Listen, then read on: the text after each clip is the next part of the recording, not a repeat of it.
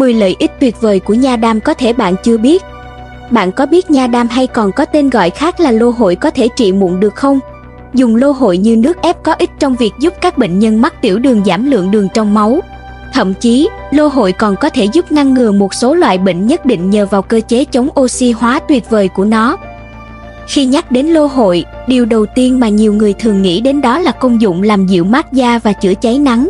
Tuy nhiên, loại thực vật nhiều nước, giàu chất dinh dưỡng này được khắp nơi trên thế giới sử dụng theo nhiều cách khác nhau nhằm mang lại những lợi ích tuyệt vời cho sức khỏe. Bạn sẽ thấy điều này hoàn toàn có lý khi biết rằng trong lô hội có chứa hơn 35 loại chất dinh dưỡng, vitamin, khoáng chất, enzyme, đường, hợp chất phenol, axit amin và nhiều chất khác có ích cho sức khỏe. Dưới đây là 10 lợi ích tuyệt vời của nha đam có thể bạn chưa biết. Mời các bạn cùng tham khảo. 1.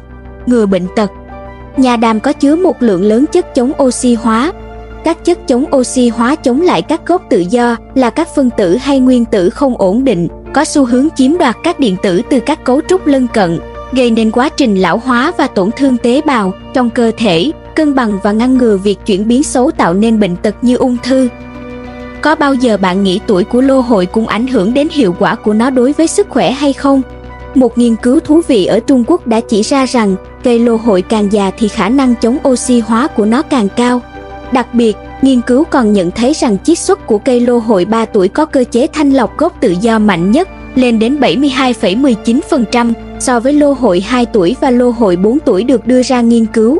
Cơ bản là, nó cho thấy rằng lô hội sẽ chứa những thành phần hoạt động và thành phần chống oxy hóa khác nhau ở những độ phát triển khác nhau.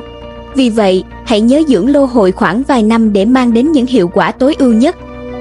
2.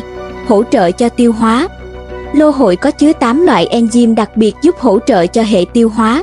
Đặc biệt, các enzyme có trong lô hội sẽ giúp giảm lượng đường và chất béo có trong thức ăn, nghĩa là có thể hỗ trợ cơ bản cho hệ tiêu hóa và tăng cường khả năng hấp thu chất dinh dưỡng.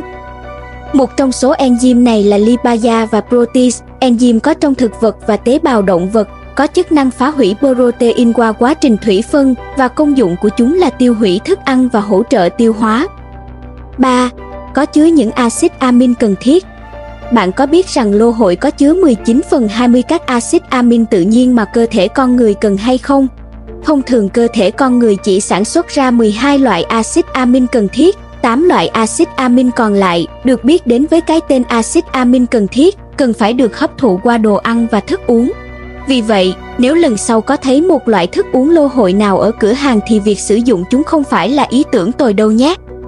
4. Giúp da tươi sáng Chắc hẳn chúng ta đều đã biết về công dụng kỳ diệu của mỹ phẩm khoáng phải không?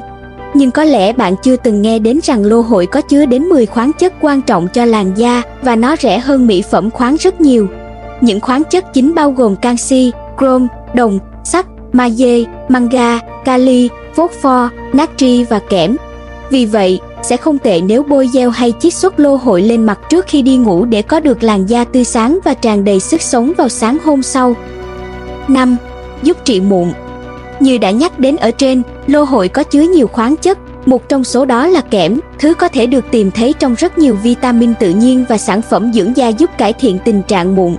Cả việc bôi và dùng lô hội đều có thể giúp trị mụn. Kẽm sẽ giảm lượng dầu tự nhiên hay bã nhờn được da tiết ra. Lô hội cũng có thể giúp làm lành các tổn thương trên da do mụn.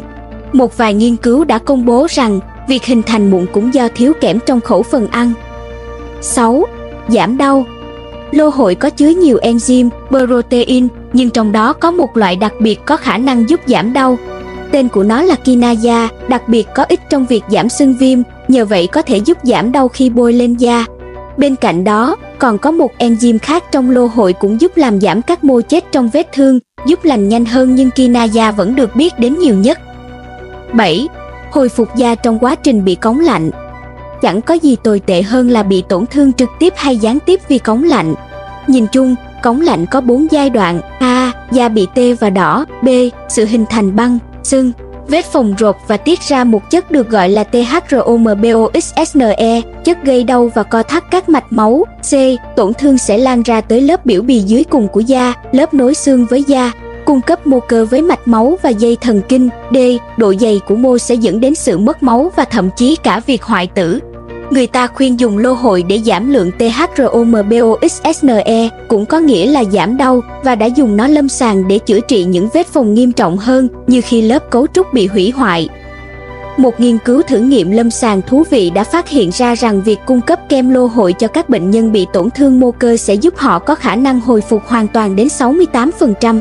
Ngược lại, chỉ có 33% bệnh nhân được hồi phục hoàn toàn nếu điều trị bằng cách thông thường. Nghiên cứu này cũng cho thấy một kết quả đáng ngạc nhiên khác rằng trong nhóm đầu tiên chỉ có 7% cần phải cắt bỏ phần tổn thương, nhóm thứ hai con số này lại chiếm đến 33%. 8. Ngừa ung thư Chúng ta đều biết rằng lô hội có hiệu quả kỳ diệu trong việc hồi phục vết thương, giảm đau và làm sạch da, nhưng có một vài nghiên cứu đã phát hiện ra lô hội cũng có một cơ chế ngăn ngừa khối u rất tốt. Mặc dù nghiên cứu này vẫn chưa hoàn toàn khẳng định lô hội có thực sự chữa được ung thư hay không nhưng có một nghiên cứu ở Nhật Bản được tiến hành và kết quả được đưa ra cũng rất nổi bật. Nghiên cứu đã khảo sát một nhóm bệnh nhân bị ung thư phổi và bệnh nhân hút thuốc ở Nhật và nhận thấy rằng việc uống nước ép lô hội có thể là gieo ngăn chặn chất gây ung thư ở phổi, ung thư ở khu vực hô hấp và nó cũng được cho là cũng có thể ngăn ngừa ung thư dạ dày và ruột. 9.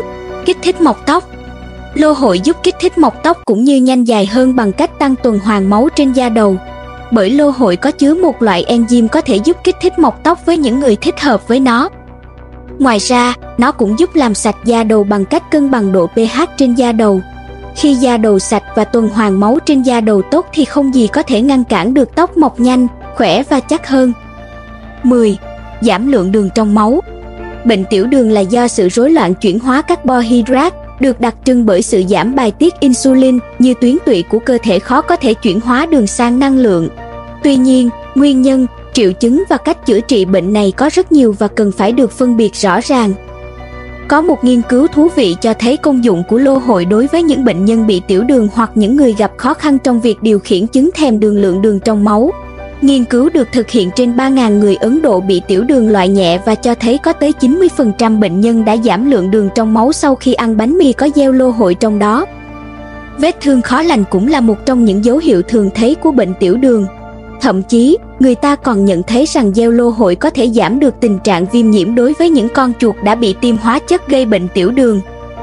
Trong những thử nghiệm sau này, ta thấy được rằng nếu cho chuột bị tiểu đường ăn lô hội hoặc bôi lên da chúng thì cả những vết thương bị rạch hay cắt đều sẽ lành nhanh hơn so với những con chuột chỉ dùng phương pháp làm giảm vết thương thông thường. Như đã thấy, nha đam hay lô hội có vô số lợi ích tuyệt vời, giúp tỉnh táo, làm sạch, làm lành, khỏe mạnh hơn và giải độc. Vì thế, bạn nên thêm lô hội vào cuộc sống hàng ngày của mình để cải thiện sức khỏe. Chúc các bạn vui vẻ!